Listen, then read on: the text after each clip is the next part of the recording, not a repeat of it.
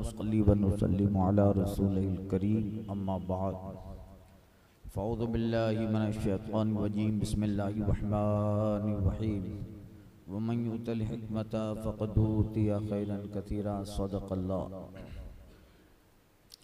मसाइल ज़कात का ज़िक्र जारी है कुछ मसाइल अर्ज़ किए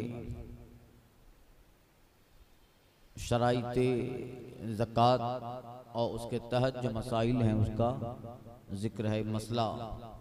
अगर खुद मदयून नहीं, मगर मदयून का कफील है। और किफ़ालत के रुपये निकालने के बाद निसाब बाकी नहीं रहती। ज़क़़त वाजिब नहीं। ये होता है, किसी की किफ़ालत लेते हैं कि भाई दस हज़ार फुला साहब को दे दे, मैं गारंटी लेता हूँ। अगर ये ना दे तो मुझसे ले लेना। इसको कहते हैं किफालत लेना, कफील बनना। तो अगर किसी कर्ज वाले, कर्ज लेने वाले का कफील बना है तो किफालत के रुपये निकालने के बाद अगर निसाब बाकी नहीं रहता तो जक़ात वाजिब नहीं। जैसे देखो, मसलन, जेद के पास हज़ार रुपये हैं। और अम्र ने किसी से हज़ार कर्ज लिए। जेद के पास जेद नाम है। हज़ार रुपये है। और अम्र ने किसी से कर्ज लिए हज़ार रुपये। और जेद ने उसकी कफालत की कि भाई दे दो मेरी गारंटी पर। तो जेद पर उस सूरत में जक़ात वाजिब नहीं कि जेद के पास अगरचे रुपये हैं। मगर अमर के कर्जे में मुस्तरक हैं कि कर्ज खा को इख्तियार है जैद के से मुतालबा करे और रुपये न मिलने पर यह इख्तियार है कि जैद को कैद करा दे। तो ये रुपये दैन में मुस्तगर हुए यानी कर्जी में दाखिल है, लिहाजा जक़ात वाजिब नहीं। दोपहर को मसला बताया कि जैसे चालीस हज़ार निसाब की रकम है कि निसाब साढ़े बावन तोला चांदी चालीस हज़ार में आती है। तो जक़ात वाजिब है। साढ़े बावन तोला चांदी या उसकी मकदार। उसके बराबर रुपया हो जाए तो जक़ात वाजिब है। और उस पर एक साल गुजर जाए। तो अगर मेरे पास सिर्फ़ चालीस हज़ार रुपये ही है, साढ़े बावन तोला चांदी को पहुँच गया, जक़ात वाजिब है मुझ पर। मगर मैं अगर किसी की किफारत लेता हूँ कि भाई सलीम भाई, आप हारुफ भाई को दे दीजिए दस हज़ार रुपये, मेरी गारंटी पर। तो अगर इस पर दिया दस हज़ार तो फरमाया कि इस सूरत में मुझ पे जक़ात नहीं होगी। इसलिए कि आपने मेरी गारंटी पे जनाब को पैसा दिया है तो आप मुझसे मुतालबा कर सकते हैं कि दस हज़ार दो मेरा भाई। तो अगर वो मैं अपनी चालीस हज़ार में से दस हज़ार निकाल दूँ तो निसाब बाकी नहीं रहता। निसाब बाकी नहीं रहता तो मुझ पर जक़ात नहीं है। गोया कि ये मेरी कफालत है, दस हज़ार जो आपने लिए हैं, ये गोया ऐसा है कि वो मेरे माल ही में शुमार होगा, मुस्तगरक होगा। इसी तरह ये मसला है कि अगर अम्र की दस शख्सों ने किफालत की, दस आदमी ने गारंटी ली के दे दो इसको। दस आदमी ने। और सबके पास हज़ार हज़ार रुपये हैं, जब भी उनमें से किसी पे जक़ात नहीं कि कर्ज का हर एक से मुतालबा कर सकता है। दस आदमियों ने कहा है कि दे दो। तो कर्ज जिसने दिया है, उन दस में से किसी को भी कह सकता है कि भाई तुम्हारे कहने पे दिया था दस हज़ार, दो मुझे। तो अगर दस आदमी है और इन दसों के पास मसलन चालीस हज़ार चालीस हज़ार जो निसाब को पहुँच जाता है तो वो दस हज़ार जो इनके किफालत की वजह से आपने दूसरे को दिया है, इन दसों पे जक़ात नहीं होगी। क्यों? इसलिए कि जिसने कर्ज दिया है, उन दसों में से किसी से भी कह सकता है कि मेरा रुपया दो। अगर उसके दस हज़ार आप अपने रुपये से निकाल दोगे तो तीस हज़ार बचेगा और तीस हज़ार निसाब को नहीं पहुँचता है मसलन तो इन दसों में किसी के जक़ात नहीं है। तलब करने वाला किसी से भी तलब कर सकता है दसों में से। तो सबके पास हज़ार हज़ार रुपये हैं, जब भी उनमें किसी पे जक़ात नहीं। कर्ज का हर एक से मुतालबा कर सकता है। और सूरत न मिलने के। जिसको चाहे कैद करा दे कि भाई किफालत ली थी और अब संभाल नहीं रहा है मामला, इस्लामी हुकूमत तो काजी के पास मुकदमा करके कैद करा देगा। उस जमाने में ऐसा होता था कि पैसा लिया, नहीं दिया तो काजी के पास फैसला जाता था, काजी कैद करा देता था। समझे कि नहीं? उस दौर में जमानत का कानून नहीं था। बैल नहीं मिलती थी। बैल नहीं मिलती थी। बड़े बड़े बैलों को डाल दिया था अंदर। मगर बैल नहीं मिलती थी। मसला जो देन मियादी हो मियाद है जिसकी। एक वक्त है वो मज़हब सही में वजूब जक़ात का माने नहीं। वो जक़ात के वजूब को नहीं रोकेगा क्योंकि आदतन दैने महर का मुतालबा नहीं होता। दैने जो कर्ज मियादी हो वैलिडेटेड हो तो उससे जक़ात पे कोई फ़र्क नहीं पड़ेगा, जक़ात देनी पड़ेगी। लिहाजा जैसे देखो, अगर शोर के जिम्मा कितना ही दैन महर हो, शोहर के जिम्मा अपनी बीवी का महर हो, महर दो तरह का होता है ना। एक एक फ़ौरन निकाह के वक्त दे दिया जाता है और एक महर उधार होता है कि भाई निकाह कर हूँ, मगर पचास हज़ार, दो लाख महर है, वो बाद में दूँगा। दो तरह का महर है कि नहीं? महर मुआज्जल महर मुआज्जल। जो अभी दे दिया जाए। यूपी, बिहार में तो ऐसा होता है। हमारे यहाँ तो चलो अच्छा है कि साढ़े तीन हज़ार तीन हज़ार सात सौ छियासी रखते हैं, मगर टाइम पे दे देते हैं। बाद में झंझट नहीं। तीन हज़ार सात सौ छियासी रखते हैं। यही ट्रेंड चला है बाद में हमारे यहाँ बाकी नहीं रखते, मगर कुछ इलाकों में, कुछ सुबाजात में बाकी होता है कि पचास, दो लाख रुपया महर है, उसमें से दस हज़ार दे देते हैं। बाकी एक लाख नब्बे हज़ार बाकी तो जो महर बाकी होता है। तो कहा कि ये जो महर उसके ऊपर बाकी है, एक लाख नब्बे हज़ार ये मियादी है। अब इसको कर्जा नहीं शुमार किया जाएगा और इसके कर्जा न शुमार करने नहीं किया जाएगा और उस पर जक़ात की निसाब को पहुँच गया है तो उस पर जक़ात वाजिब होगी। अब ऐसा नहीं कि मेरे ऊपर तो मेरी मेरी बीवी का दो लाख रुपया मेहर का बाकी है, ये निकाल तो नहीं, ये नहीं चलेगा। दो लाख अगर मैंने आपको दिया है तो वो निकाला जाएगा। ये निकालने के बाद अगर रकम पहुँच जाती है निसाब को तो जक़ात है। मगर आपकी बीवी का अगर बाकी है, दो लाख रुपया या जो भी हो तो उसको कर्जा शुमार नहीं किया जाएगा। वो मियादी है। तो मज़हब सही में वो जक़ात का, वजूब जक़ात का माने नहीं है। जक़ात वाजिब हो जाएगी। अब कोई ये कहे कि बापू, मेरे ऊपर तो मेरी बीवी का दो लाख मेहर का बाकी है। मतवली साहब, ये नहीं चलेगा। तो यही कहा कि जो दैन मियादी हो, वो मज़हब सही में वजूब जक़ात का माने नहीं है। जक़ात के वाजिब होने को मना नहीं करेगा। जक़ात वाजिब हो जाएगा। समझे? लिहाजा अगर शोर के जिम्मा कितना ही दैन महर हो जब वो मालिक के निसाब है जक़ात वाजिब है खसूस महर मौखर जो बाद में दिया जाता है जो आम तौर पे यहाँ राय है जिसकी अदायगी की कोई मियाद नहीं होती। कोई लिमिट नहीं होती। निकाह करते हैं लेकिन इतना होता है कि बाद में दे देंगे। फिर कब देते हैं? अक्सर इलाकों में ऐसा होता है कि जब तलाक वगैरह की नौबत आती है तो औरत कहती है कि ऐसे ही तलाक के पेपर पर साइन नहीं करूँगी जो बाकी है वो दो। तो जो बाकी देता है, वो देना ही है। वो अल्लाह की बंदी का हक है, देना ही है। खसूसन जो महर मौखर है आमतौर पर यह राय जिसकी अदायगी की कोई मियाद नहीं है, कोई वक्त नहीं होता है, इसके मुतालबे औरत को इख्तियार है ही नहीं। औरत को इख्तियार नहीं होता है, मर्द जब चाहे तब दे। है क्या नहीं? जब तक मौत या तलाक वाक्य ना हो मौत या तलाक? वाक्य ना हो।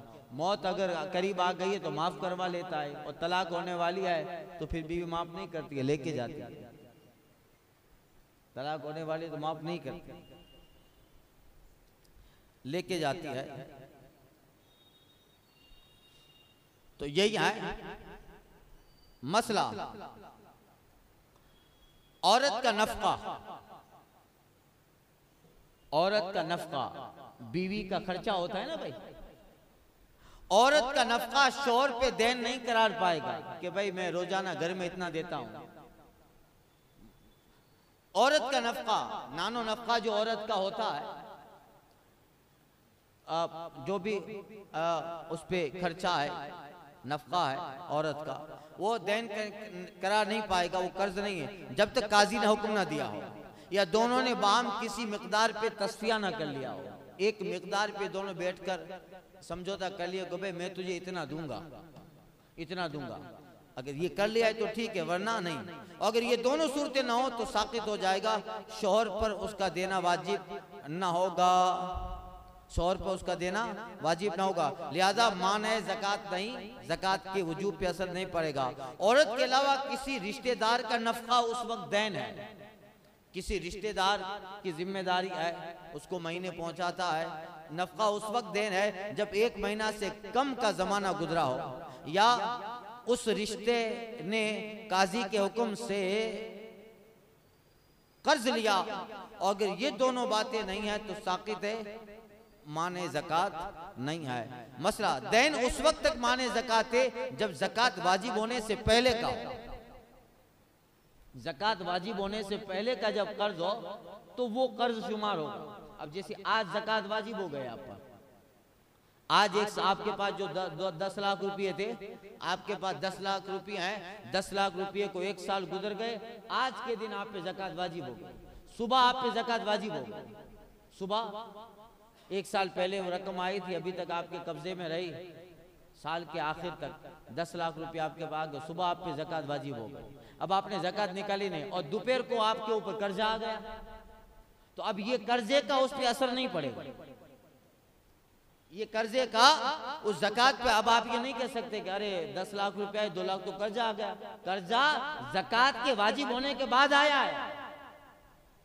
कर्जा जक़ात के, जक़ात सुबह वाजिब हो गई थी। सुबह ही साल पूरा हुआ था और कर्जा बाद में आया तो कहा कि दैन उस वक्त तक, कर्जा उस वक्त तक जक़ात के माने है जब जक़ात वाजिब होने से पहले का हो। और अगर निसाब पे साल गुजरने के बाद हो तो जक़ात पे उस कर्ज का, उस देन का कोई असर नहीं है। उसका कोई असर नहीं है। आप पर आज जक़ात वाजिब कल जक़ात वाजिब हो गई थी आप पे कल आपका सारा पूर, साल पूरा हुआ। और आज अचानक आप कर्जे में आ गए।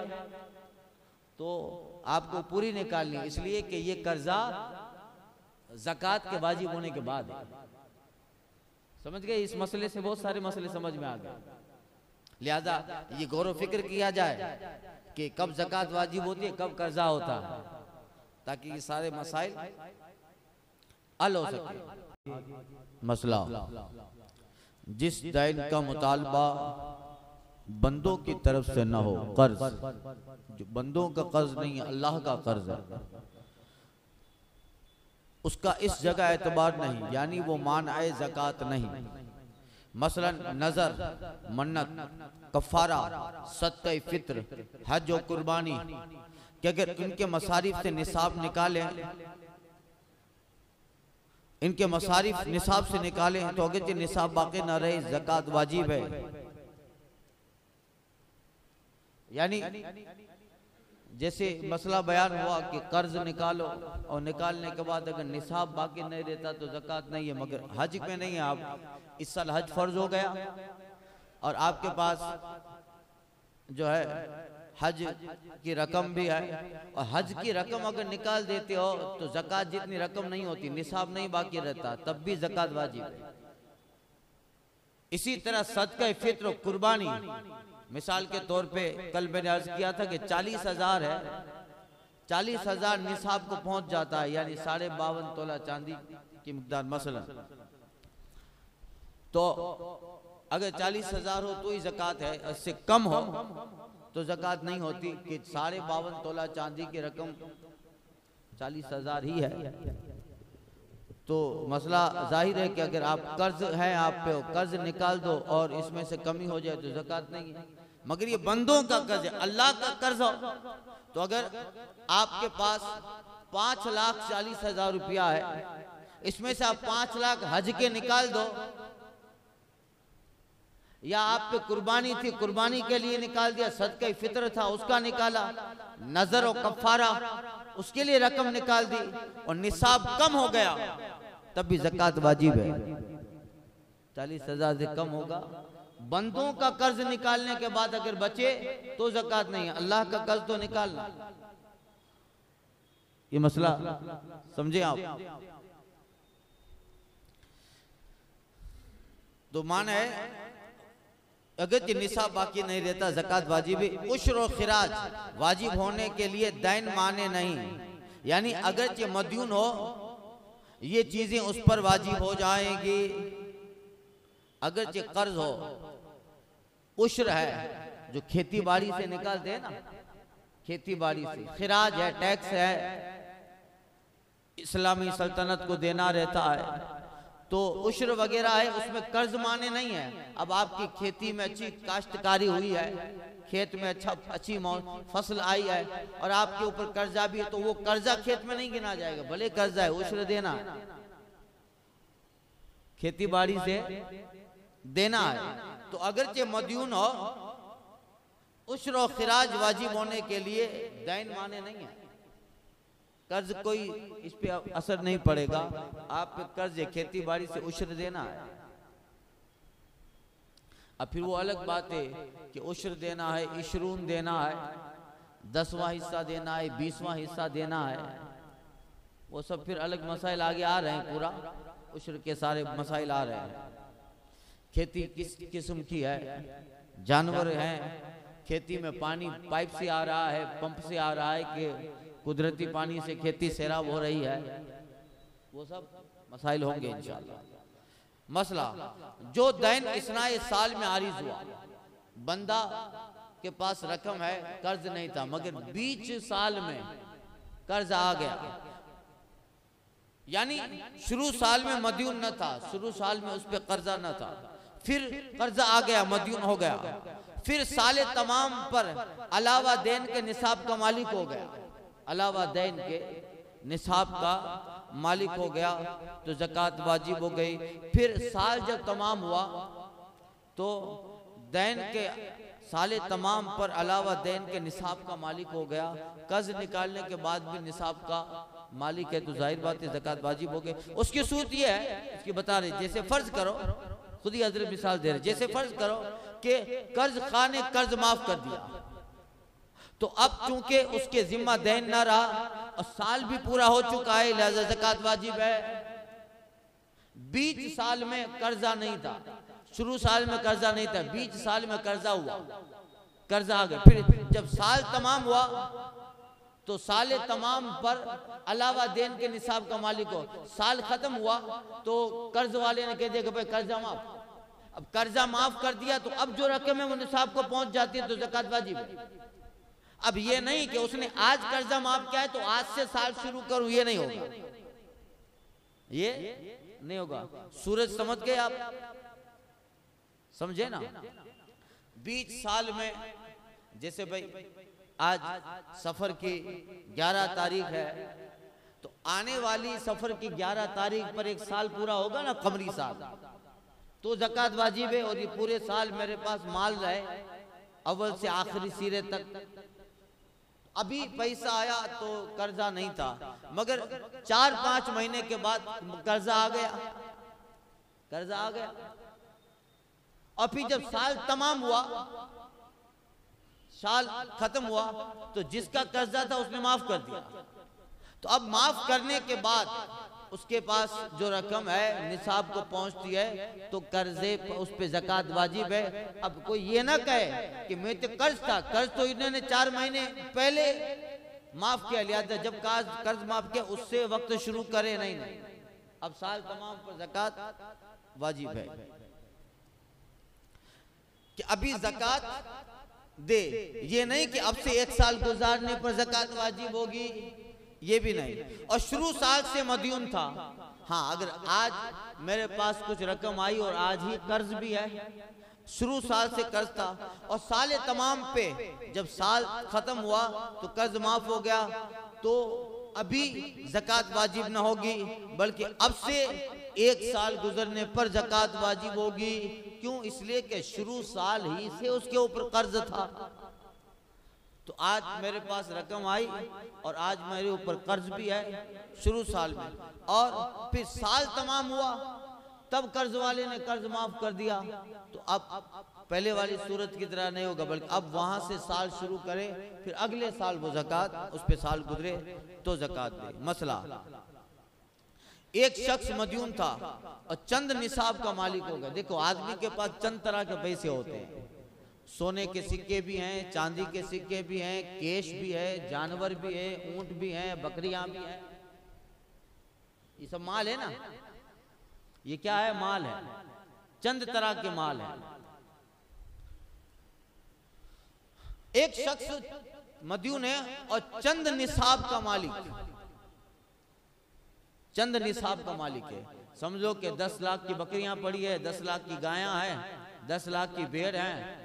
और दस लाख के चांदी के सिक्के पड़े हैं, दस लाख के सोने के सिक्के पड़े हैं। दस लाख केश है। तो एक शख्स कर्ज है, मगर चंद निसाब का मालिक एक हर एक से देन अदा हो जाता है। मसलन उसके पास रुपये अशरफी भी हैं, तिजारत के इसबाब भी हैं, चराई के जानवर भी हैं। तो रुपये अशरफियाँ देन के मुकाबले समझे और चीज़ों की जक़ात दे।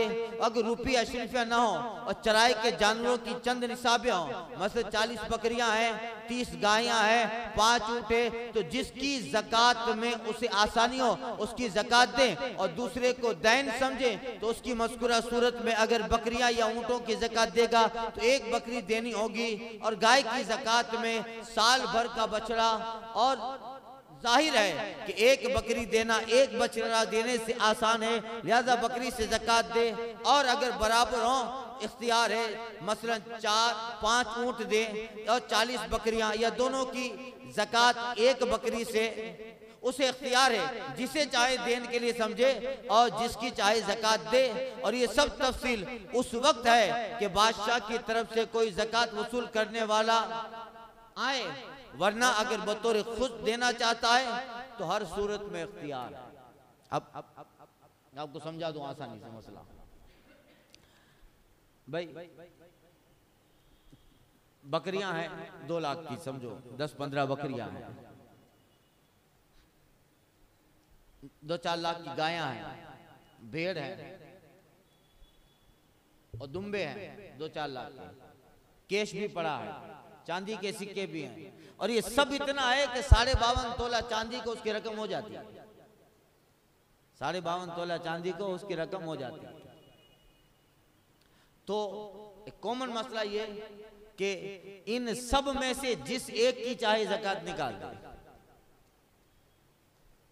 समझे? जिस एक की चाहे।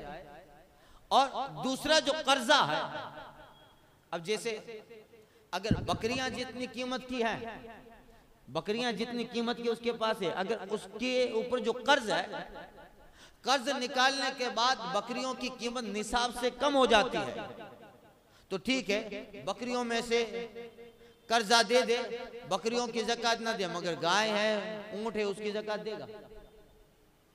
समझ गए? इसी तरह अगर सोने के सिक्के हैं, चांदी के सिक्के हैं, चांदी के सिक्के में से अगर कर्ज निकाल देता है तो उसका निसाब बाकी नहीं रहता। उसका निसाब बाकी नहीं रहता। तो चांदी के सिक्कों में से जक़ात निकाल दे, उस पे उसकी जक़ात अदा हो गए तो कर्ज बाकी नहीं रहता। कॉमन मसला है, चंद निसाब है उसके पास। चंद निसाब का मालिक है। यानी चंद ऐसे असबाब हैं, रुपया भी अशरफिया भी हैं तो रुपये और अशरफी हो जो केश है उसको कैश के मुकाबले समझे। सोना चांदी को एक साथ कर दे।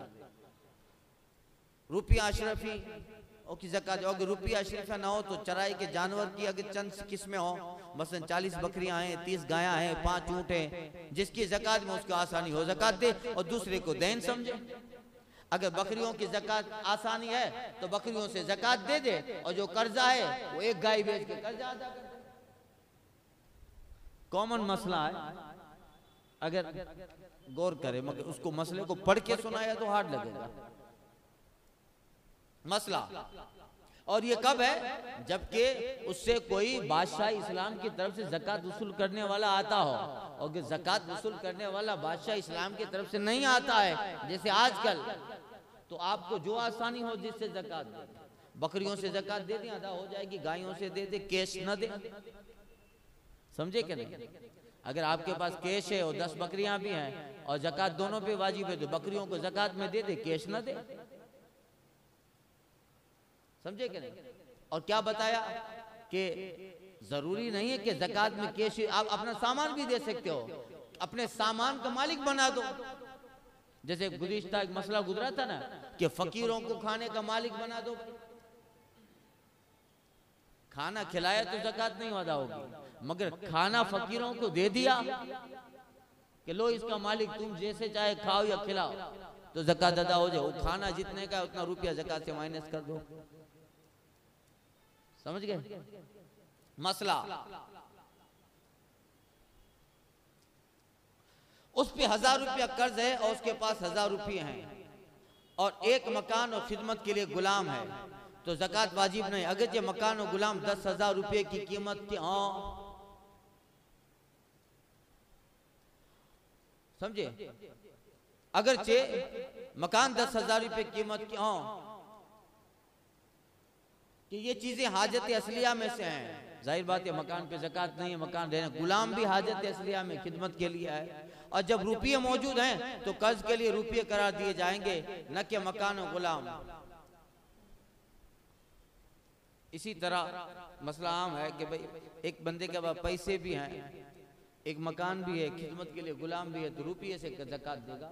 मकान और खिदमत के जो गुलाम है, वो कर्जे में शुमार नहीं होंगे, वो हाजत असलिया हैं। अब जक़ात की आठवीं शर्त, निसाब, हाजत असलिया से फारिग हो। हाजत असली से फारिग हो।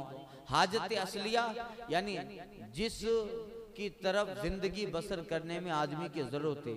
उसमें जक़ात वाजिब नहीं। जैसे रहने का मकान, जाड़े, गर्मियों में पहनने के कपड़े, खानादारी के सामान, घर के सामान, बर्तन वगैरह, ये सवारी के जानवर, आज के जमाने में बाइक, गाड़ी। सवारी है ना भाई? उसको जक़ात में नहीं शुमार करेंगे कि इसकी भी रकम निकालो। नहीं। खिदमत के लिए लोंडी गुलाम आलाते हर्ब, जंग के सामान, तलवार, जरा, ढाल, ये सब हाजत है।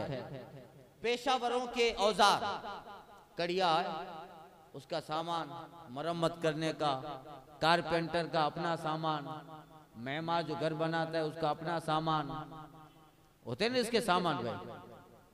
ये हाजत असलिया है। लिहाजा इनके इनको जक़ात में नहीं, कि इनकी रकम नहीं गिनी जाएगी। ये हाजत में दाखिल है। अहले इल्म के लिए हाजत की किताबें, जिसको मुताला करे मौलाना, अहले इल्म। खाने के लिए गल्ला, रोटी, चावल, गल्ला जो अनाज पड़ा हुआ है आपके घर में, किचन में, ये सब हाजत है। उसके अलावा जो है, उसको शुमार करे एक साल गुजर जाए तो जक़ात है। तो जक़ात है। कितना आसान मज़हब है। पहले आपको फारिग कर दिया जाता है ताकि आप परेशान ना हो। खाने का मकान है, मकान में अगर हर साल आप जक़ात निकालोगे तो मकान कितने साल तक रहेगा भाई? नहीं नहीं, मकान में नहीं है, मकान में रहिए आराम से, आपके पास सवारी है, रहिए आप सवारी के साथ आराम से, अपने किचन के सामान, गल्ला, अनाज, नहीं नहीं, इसमें कुछ नहीं चाहिए। ये तो तुम्हें ज़िंदगी बसर करने के लिए अल्लाह ने नेमतें दी हैं। हाँ तुम्हारे पास ज़्यादा है तो हमें दो।